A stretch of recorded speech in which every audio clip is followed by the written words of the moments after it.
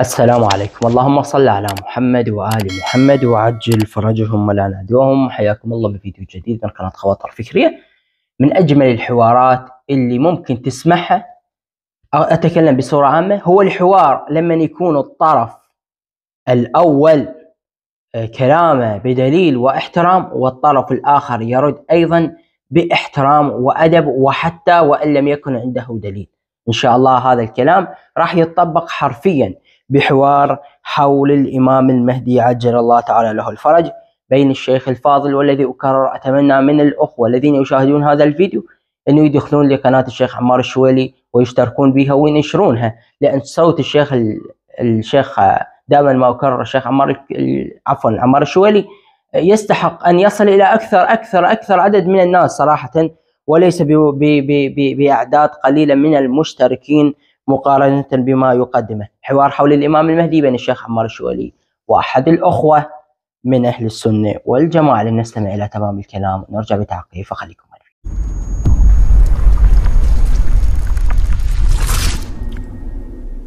الله يبارك فيكم. أنا سني. على رأسنا. وتكلمت بالتعليقات. نعم. وتم كتمي وطلبوا مني إنه أصعد. فالكلام اللي كان بالتعليقات حول حديث النبي عليه الصلاة والسلام الذي يقول تركت فيكم تركت فيكم ثقلين. ما إن تمسكتم بهما لن تضلوا بعدي أبدا. كتاب الله وعترتي آل بيتي. طيب بارك الله فيكم. هل التمسك بالقرآن هو بالإيمان به فحسب أم يكون تمسك به بأمره ونهيه والرجوع إليه في كل وقت وفي كل نازلة؟ هذا ينطبق على الإمام وهذا ينطبق على آل البيت. طيب. يعني أشكل أشكل يعني محاوري أهل السنة أشكلوا على الشيعة فقالوا لهم هنالك تفرق الآن بين آه الإمام الذي تدعونه وبين القرآن لأننا لأن الرسول عليه الصلاة والسلام حينما أمرنا أن نتمسك بالقرآن أمرنا أن نتمسك بأوامره ونواهيه واليوم لا يوجد إمام. طيب يعني الإمام حفيد تقولون أن أحسنت. الإمام موجود أحسنت. ولكن هنالك فرقة بيننا وبين أوامره ونواهيه وإرشاداته واليوم نحن موجودون تحت أوامر وإرشادات ويعني اتباع رجال دين. أستاذ حفيد يعني الآن لا سؤالك صار واضح. من الإمام أستاذ حفيد أنا أسألك سؤالا أمام الجميع. هل أنت تقر بأحاديث الثقلين كتاب الله وعترتي أم أنك لا تقر به؟ يعني أنا لست من المحدثين ولكن أنا أسمع به وأؤمن به. أحسنت. وكثير من أهل السنة يؤمنون به. أحسنت. وهو حديث صحيح في الكثير من ال- الكتب السنية. أنا أسألك الآن. في صحته بارك الله فيك. ولكن غيرها من الأحاديث يعني تصحح تصحح ويقال عنها حديث حسن صحيح لكن لا ترقى إلى مرتبة العقائد عند أهل السنة. طيب طيب. لا أنا ترقى أنا إلى مرتبة العقيدة. أحسنت. أنا أقول لك الآن بما أنك يا حفيد الحسن تؤمن بهذا الحديث أنت خلي النقاش بيني وبينك شخصي بغض النظر عن الانتماء السني والشيعي. بما أنك تؤمن بحديث الثقلين هو التمسك بالكتاب وبالعترة. العترة عندك هو هم علي وفاطمة والحسن والحسين صح ولا لا؟ أنا آل البيت قصدك؟ لا العترة العترة. الذين قال رسول الله تمسكوا بهم مع القرآن. من هم؟ آل البيت. طيب من هم. جميعا. عند أهل السنة عند أهل السنة من صحح هذا الحديث قال إجماع أهل البيت حجة على أهل السنة طيب أو من هم أهل البيت. عندكم؟ من هم أهل البيت عندكم؟ أهل البيت عندنا أزواج النبي صلى الله عليه وسلم. والحسن والحسين والإمام علي. طيب. وكل من حرم الصدقة. طيب هل هنالك من أهل البيت في هذا الزمان أم انتهى في ذلك الزمان وانتهى؟ نعم انتهوا. طيب هذا تكذيب لرسول الله. حيث أنه قال لن يفترقا الكتاب والعترة.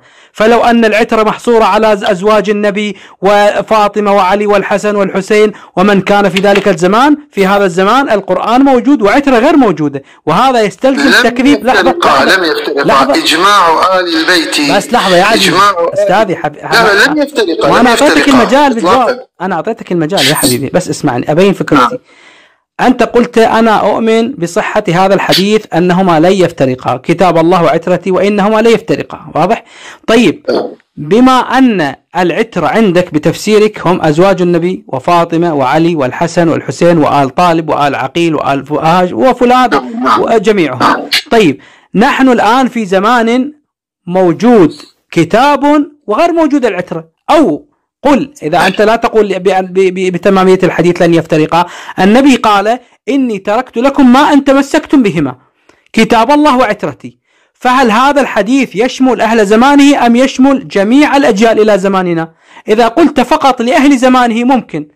بوجود نساء النبي وآل أبي طالب وآل هاشم وآل عقيل وآل فلان ممكن. أما في هذا الزمان إذا قلنا بأن العترة قد انحصرت بهؤلاء وانتهى في ذلك الزمان في هذا الزمان ما موجود عترة.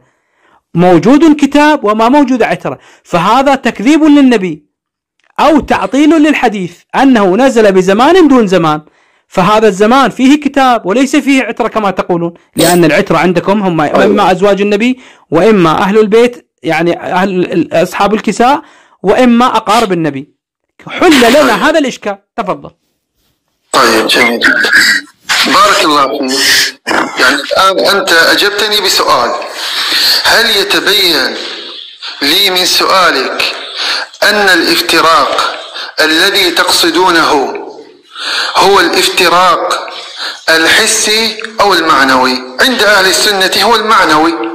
فآل البيت وإن ماتوا وقتلوا واستشهدوا فهذا لا يعني أنهم قد افترقوا. جزاك الله خير الجزاء. ونحن كذلك يا حفيد. ونحن كذلك نقول بالافتراق المعنوي وإن كان الإمام غائبا ومبتعدا فهو كالذين ابتعدوا بالموت كذلك هو ابتعد بالغيبة ولا يضر ذلك بحديث الثقلين.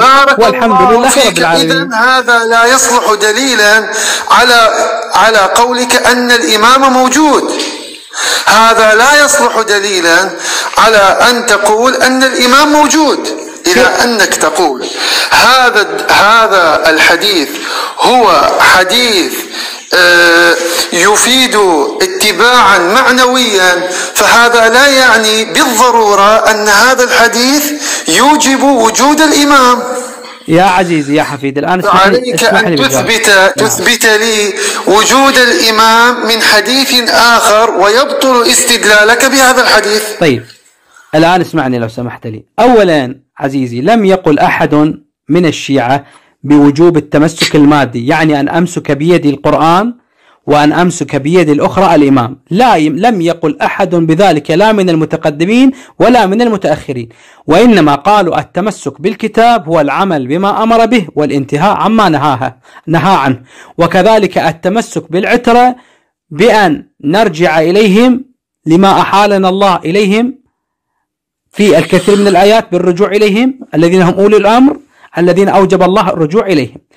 أما قضية الغي... وجود الإمام المهدي عليه السلام فمن قال لك أن الشيعة يعتمدون على دليل واحد في إثبات وجوده عن طريق حديث الثقلين فقط فقل له أنت واهم. قامت عندنا عشرات الروايات الصحيحة التي تثبت وجود إمامنا الثاني عشر. روايات بارك الله فيك. هذه هذا الحديث بالذات. نعم. هل يثبت وجود الإمام أو لا؟ نعم يثبت وجود الإمام. والدليل؟ طيب. النبي صلى الله أين طيب. لحظة أحسن. لحظة لحظة. أحسن. بارك الله فيك. من أين تستدل على إثبات وجود هذا الإمام من هذا الحديث؟ وأنت قلت أن الحديث هذا لا يعني ال ال ال يعني ال الترافق ال ال الحسي وإنما هو المعنوي. أنت نفيت أنت نفيت أن يكون هذا الحديث دليل على وجود الإمام. شيخنا لم يفهم عليكم ما معنى المعنوي هو نعم هو ما فهم الان المعنوي هو المعنوي هو أن نعود إلى أوامره ونواهيه طيب نحن نعتقد بشيء بعقيدتنا الشيعية أن الذي يكون مفسرا ومبينا وموضحا للقرآن هو عدل القرآن الذي هو من العترة ونحن عندنا العترة بخلافكم العترة هم أصحاب الكساء والأئمة عليهم السلام التسعة من ذرية الحسين ابتداء بعلي زين العابدين وانتهاء بالمهدي. قام في عقيدتنا أنه لا بد مع وجود الكتاب وجود حجة الله على خلقه المبين والموضح والمفسر.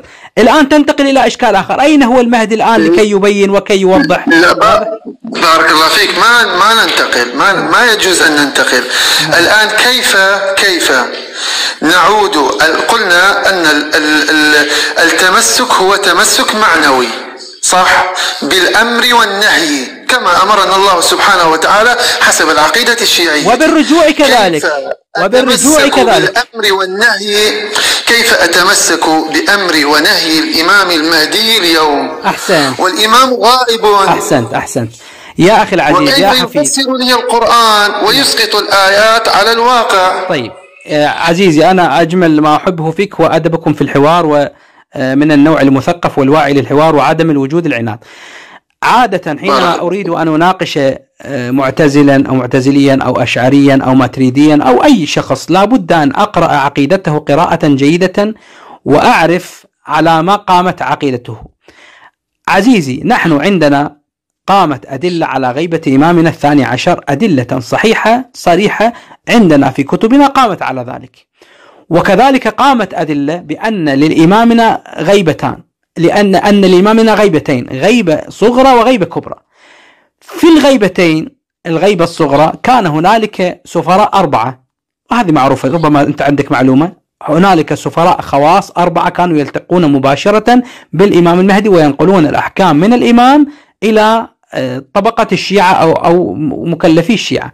في الغيبة الكبرى أحال الإمام سلام الله عليه الرجوع إلى الفقهاء لأن هنالك كما كبيرا من الروايات التي صدرت عنهم عليهم السلام ابتداء من رسول الله وانتهاء به سلام الله عليه وضعوا إرثا كبيرا لفقهاء الشيعة بأن ما احتاجوا إلى شيء إلا وجدوه في هذا التراث فهذه الإحالة منه سلام الله عليه. وأما من كان من الفقهاء وهذا حديث مشهور عندنا من كان صائنا لنفسه مخالفا لهواه مطيعا لأمر مولاه فللعوام أن يقلدوه. نحن الشيعة نقلد الفقهاء لأنهم هم الذين أعرفوا الناس في الوصول إلى روايات آل محمد. الدليل الثاني الدليل التفصيلي القرآن والسنة. السنة هي قول النبي وكذلك ما ورد, ورد عن أئمتنا عليهم السلام. فالفقهاء هم الحلقة الغير مباشرة مع الإمام المهدي لأن هنالك كانت حلقة مباشرة الذي هم السفراء الأربعة.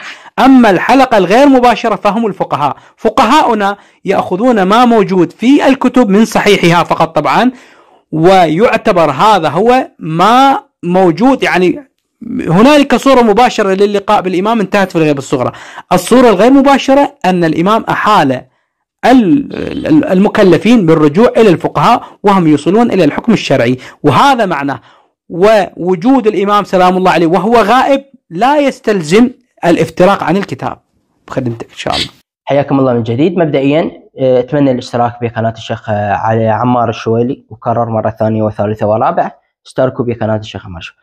مثل ما قلت الحوار لما يكون بأدب باحترام بلطف بموده بمحبة بشرح بدليل بإخلاق برد من دون تشنج إحنا راح نخرج بأقلها أقلها أقول حتى إذا لم يقتنع الطرف الآخر إحنا أقمنا الحجة ووصلنا الفكرة لأن إحنا اللي جاي جاي يصير بالبثوث الآن أو بالحوارات.